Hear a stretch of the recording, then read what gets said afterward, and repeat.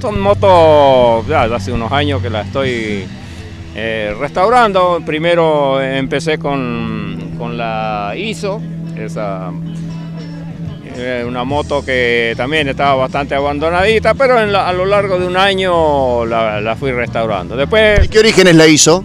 La, la, ISO es italiana. Eso es lo que se tiene de raro, que es un motor que tiene un solo cilindro, pero con dos pistones en el mismo cilindro. Por eso tiene dos salidas de escape. ¿De qué año es la ISO?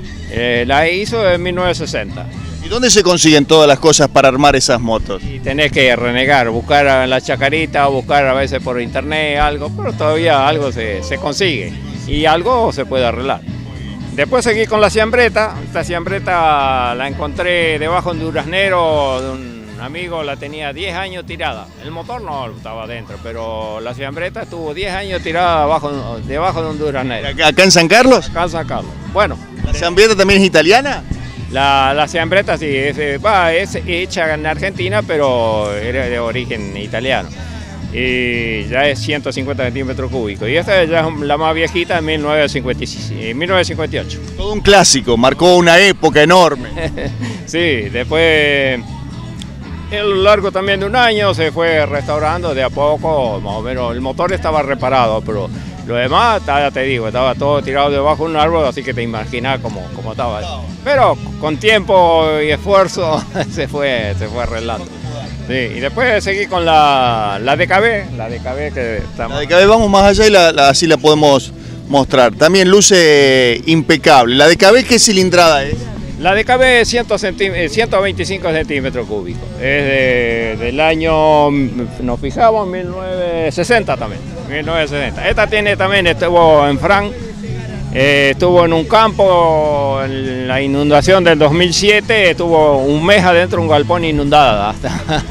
bueno, desde a poco también la, compré y la, a lo largo de un año también la fui, la fui restaurando, así que también se hizo todo lo que es chapa, pintura, la parte eléctrica, el motor, se fue arreglando todo hasta que quedó así en el estado que está. ¿Siempre se dedicó a restaurar motos? Sí, hace unos años. Primero había empezado con la Ditela hace ya 11 años y después me empecé con, la, con las motos. y después, después de la DKB, la última que hice, la que está más atrás, es la, la Sanela 100, Sanela c Y después, una vez que están lucen así impecables, ¿se, la tiene ganas de quedar por siempre o se venden?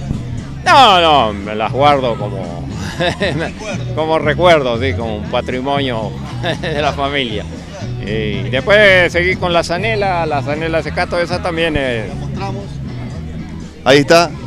Es la zanela secato, esta es 100 centímetros cúbicos. 100 centímetros cúbicos, modelo también del año 1963. Esta era también un... fue vendida por Casa Serra en el año 1963 a una familia de Bertossi de, La Rechea.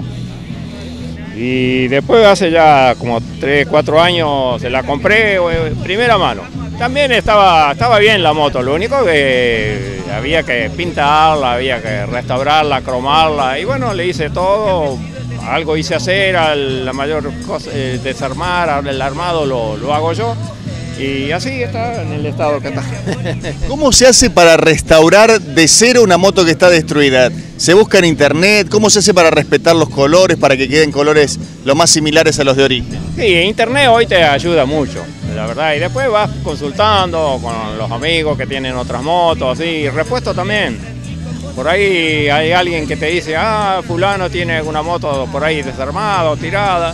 Y entonces por ahí va, y después sí, por, internet se, se consigue también.